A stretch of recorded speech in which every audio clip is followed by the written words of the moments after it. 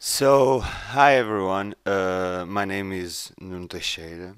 So, today I'm going to start a new exercise, namely the exercise made on the, the AU University, Autodesk University, by Ken Marsh, Robot Structural Analysis Making the Change. Uh, Ken Marsh is a structural engineer who joined the Autodesk and uh, he has written he's the author of Robot Structural Analysis Professional Essentials. And uh, he gave this exercise this robot structural analysis making the change on the AU University. You may find the link to the website of the AU University over here okay it is on the description. I'm going to leave this on the description. So let's get started. Once again I will follow the steps over over here on the contents of this PDF document. It is this document right here on the web page. It is the handout. You open robot and then you have your interface over here. And now I'm going to press the new and I'm going to choose the building design. We have never done anything on uh, this uh, on this template.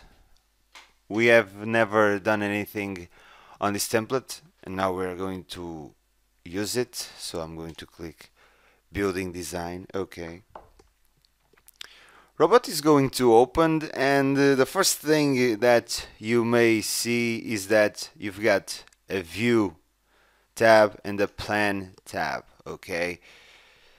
And uh, this template is the only one that has these two tabs for the view 1 you always have a plan view and a 3D view with your cube on the right upper side of your screen okay? Now we're going to do the project setup.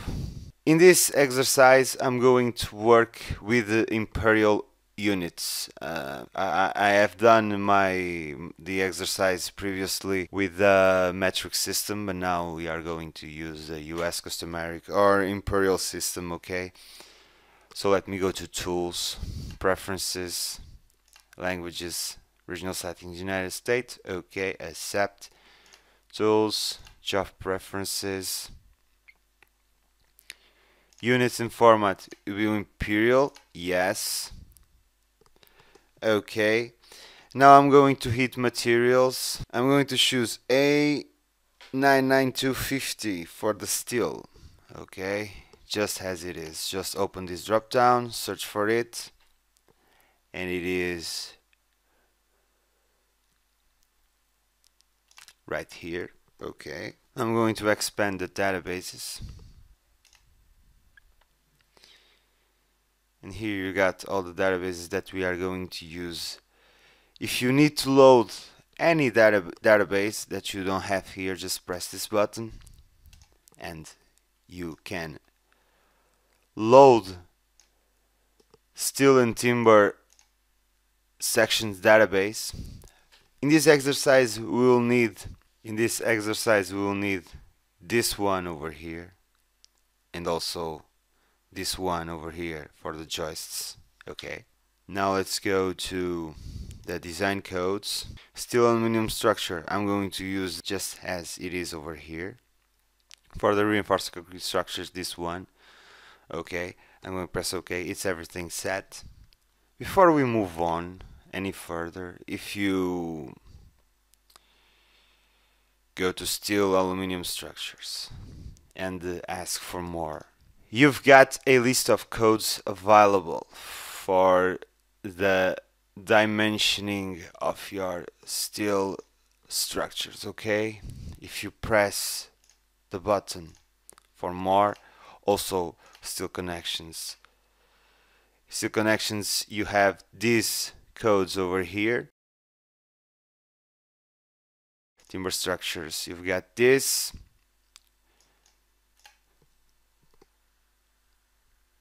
Now I'm going to expand the design codes. I'm going to load and code combinations will be according to load and resistance factor design. I'm going to press OK. Now let's model the structural axis going to press this button over here okay? And on the X tab I'm going to enter 0 the number of repetitions will be 2 and we will the distance will be 30 feet. If you want to know and you are not used to uh, let's put it this way. One foot equals approximately 30 centimeters. So 30 feet equals 9 meters approximately okay? So let's press add on the y-axis. Of repetitions will be 2 the distance will be 20 which is actually 6 meters. I'm to name it ABC sorry ABC over here add okay? Now let's go to Z. The base will be 0 story 1 will be 14 and we are going to add 28 feet for sorry. Need to delete that. The value and add. Okay very good. You may uncheck this box and you get zero number repetition 2 and the distance will be 14 feet.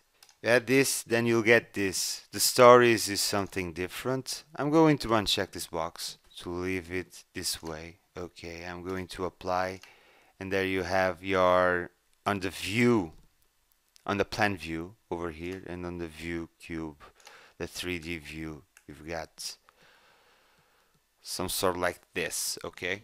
Something like this. Now I'm going to set up the stories to match the levels that we have added you have the level 0 0 14 and 28 feet okay? So the stories are important because we are going to use it in seismic analysis okay? So let's go to geometry stories and press this button over here. We are going to define it manually. Story 1 number of in 1 and add okay I'm going to add this and there you go. You've got story 1 where the top level is 14 the height is 14 and story 2 top level 28 the height is also 14 okay you need this for the seismic analysis and we are going to talk it in a later video.